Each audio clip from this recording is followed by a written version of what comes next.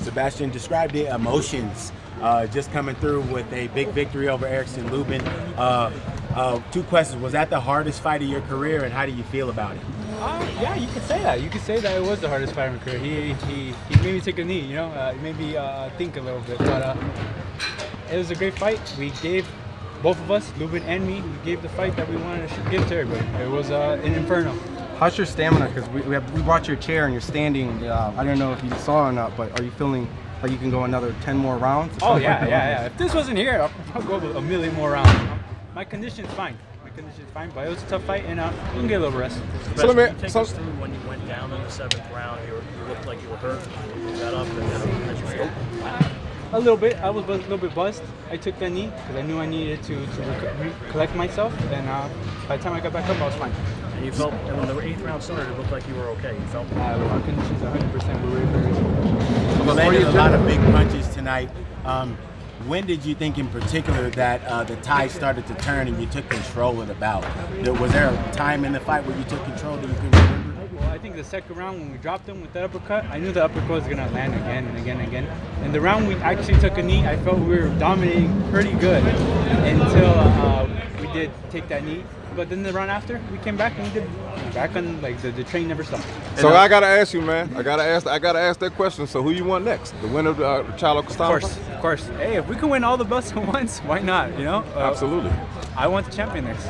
This is this is only a little step towards it, but uh, the next one's a real thing. Hopefully, if not that, we'll, we'll fight anybody in 154. We're doing good.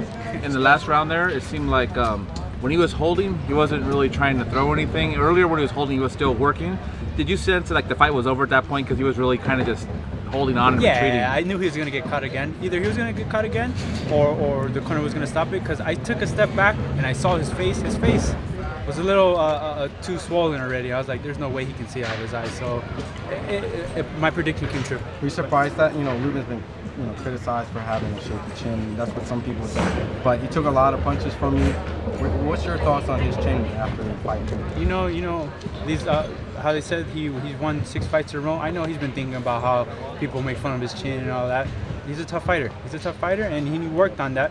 Uh, I just know I hit hard too, so it, you know, I, I, didn't I didn't think this fight was gonna go the distance, and um, we got the job done. Sebastian, how surprised were you that he survived? It was late in the round, but he was hurt when he got up and used the ropes to get himself up. How surprised were you that he survived that in the second round? Well, when we dropped him, it was the end of the round when I went, literally when they finished the count, the, the, the round was over. So I was like, eh, that, that's fine. He came back in the third round. I knew he had the, the, the minute to rest, so it was fine. When I knew he was gonna be fine. When you're watching the fight unfold and his face is getting worse and worse by round by round, how surprised were you? One, that the commission did not stop the fight, and number two, that he was allowed to, by anyone to continue fighting. I wasn't surprised.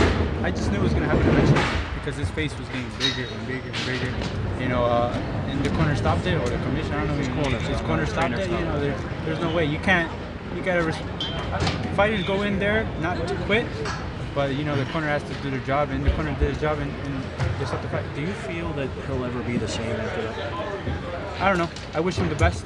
I wish him a, a quick recovery. Uh, uh, um, you know, he got up before, he can do it again just I guess not with us. Your nick your nickname's the Towering Inferno. Naturally, we all know that you're one of the tallest uh, in your weight division of all time. But the Inferno part is something that seems to be a bit of an enigma to a lot of people. You get on top of guys and just absolutely eviscerate them. Uh, talk to us about your style. Uh, you're very destructive. You're a very nice guy very kind, but when you're fighting, you're nasty as they come. Tell us about that. That's just, I, I like to fight. I like to go in there, stand in the middle of the ring, wherever it is actually, and uh, break faces with them. Whether I'm breaking my face or they're breaking their face, I just, I want to give the fans an exciting fight, and I think we did today. When you first dropped them, do you think if there was more time, you would have went ahead and finished them? if there was more round, if there, there was more, more time if, yeah, if, there was, if, say that was the beginning of the round, yeah. I think we could have got the dub done. Because uh, uh, it, it, fell in again. It fell again. Those uppercuts were landing. But uh, he had that minute to rest for that break, and, and, and he recovered. He recovered are, good. Are you going to be um, uh, ringside for the Castaño um, Charlo rematch? Oh, it's, it's practically in my backyard, so I have, to, I have to be. I have to be there. I have to be there. That's where all the belts are going to go, and uh, hopefully I have next. And you said before the fight, you know, uh, that it didn't matter to you who you fought after, but that Charlo would be the bigger fight in the United States. Is that you still now that you got this out of the way, you still feel the same way? Oh yeah.